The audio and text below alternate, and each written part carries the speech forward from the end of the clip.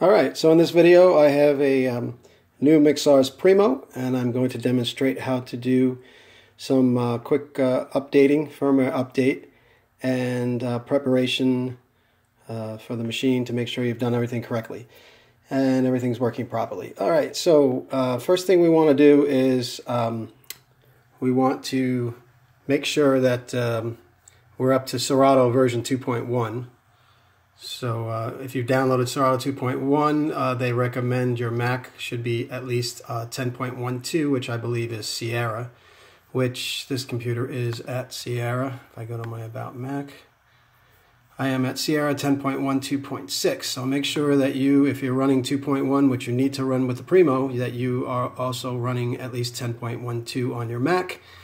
All right, and on the Mixar, Mixar's website, if you go to mixars.com, we want to uh, go to support and download and um, basically you want to come down and get the upgrader here where it says update updater and instructions for Duo, Duo MK2 and Quattro. It's also for the Primo. It also works for that. And you just simply click on that, download the file, and um, you will need Java to run this um, updater. So if you don't have Java, a good way to find out right away usually is if you go down to your preferences here, you will see in your system preferences uh, that you have Java down here. You can see that I have it. So I've already installed Java. If you don't have Java, you can just simply go to Google and uh, put in Java and then go to java.com and download it for the Mac. Uh, free Java download right here and just follow that process. And then once you have Java on your system and you've downloaded the um, upgrader, you should get a file that looks like this. I have it on my desktop here. It just says Duo Firmware Updater App 2. Um, and once you, it looks has a little coffee cup on there. So once you have that application downloaded, you can simply open it by double clicking on it. And you'll see, again, it says Duo, but it works for the Quattro and the Primo and this is what it looks like. So basically what you want to do is you want to you want to put the Primo into uh, update, update mode uh, or firmware upgrade mode. And um, before I do that, let me just go back to the website real fast.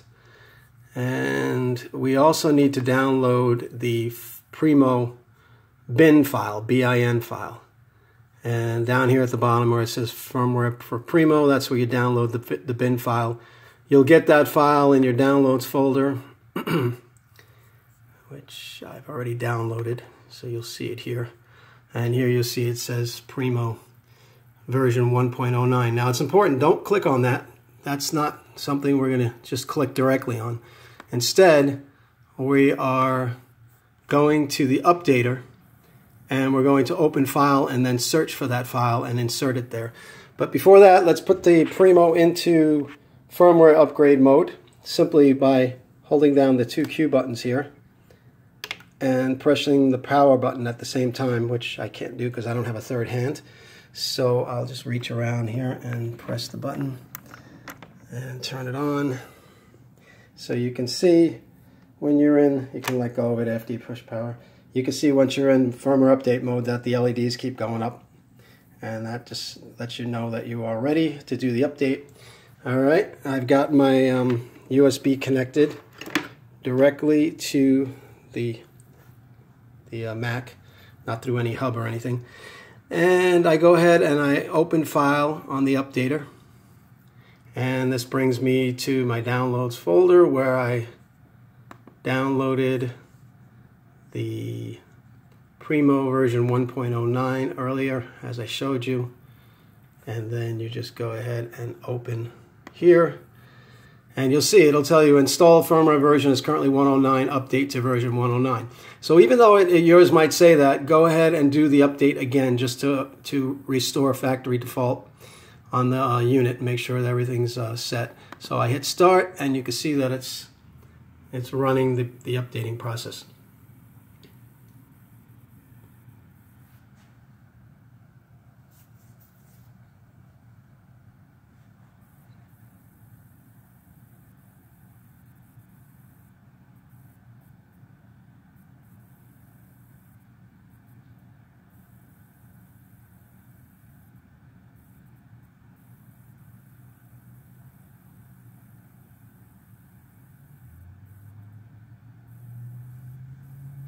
Okay, so anyway, I'm at 60 something percent. Um, to save us some time, I'm going to go ahead and pause, and then when this is done, well, you know what, I'll let it just go through so you can see the whole process.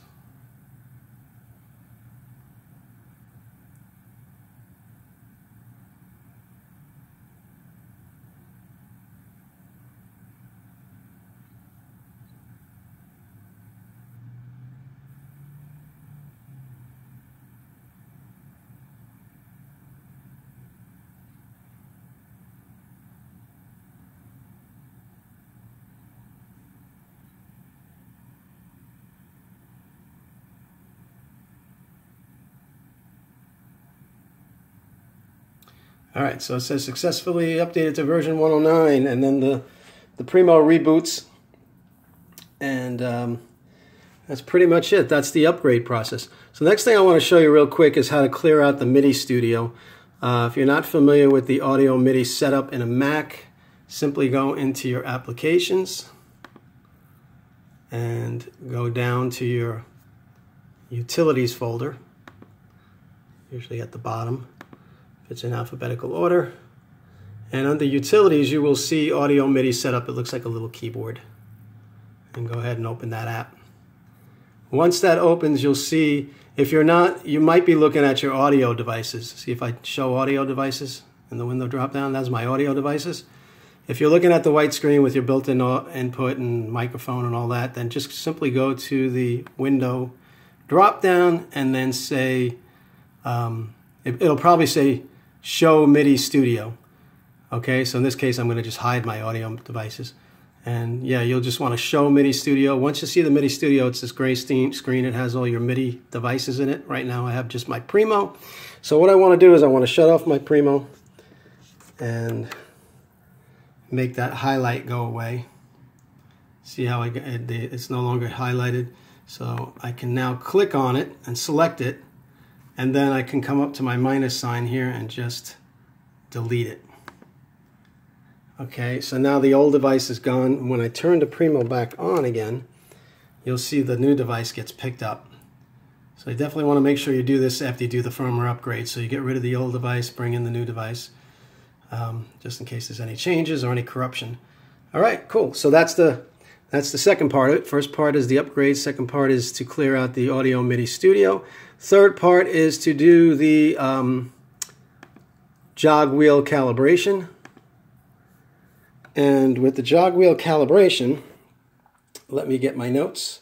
It's just uh, three simple steps. There's really nothing to it. Let me grab my notes and then we'll go through that. All right, so fader calibration, oh, I'm sorry, jog wheel calibration. I have my notes here. Basically, it says to press and hold. So I'll have to turn off my Primo again. It says to press and hold the noise and filter buttons. Noise filter buttons here. And while holding those down, it's kind of like the firmware upgrade, except now we're going to power up uh, while holding down noise and filter. So I got to use my hand again here. Okay, so I've powered up. And then it says avoid any contact. Do not touch the jog wheel during the calibration and while pressing the shift button. So I guess I can let go of these guys now and I am in calibration mode. And the next thing is to just hit the shift button to save the parameter, but you don't have to touch any of the jog wheels. You don't have to calibrate anything. I guess it's self-internal calibrating somehow. Um, so I hit that and you can see the Primo comes back to life and its calibration is most likely done at this point. So there we've got that. Okay, so cool. We've got our Primo showing in our MIDI studio. We've got the calibration done. We've got the firmware upgrade done. Next thing would be to just open up um, Serato Pro and um, and then make sure everything's working. So uh, I know this Primo works. I've done. I've already tested it. Um, and hopefully uh, yours will work now. So in my case, I've got connection here and I can go ahead and load some songs and um, deck one, deck two, and go ahead and play, play. Oh, we gotta hook our audio up, of course.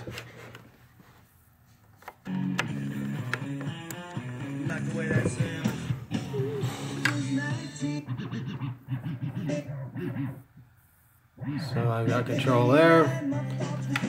And I've got control there. So everything's working on this Primo. And hopefully yours will too. If not, uh, let me know and we'll see if we can resolve. Thanks. Bye.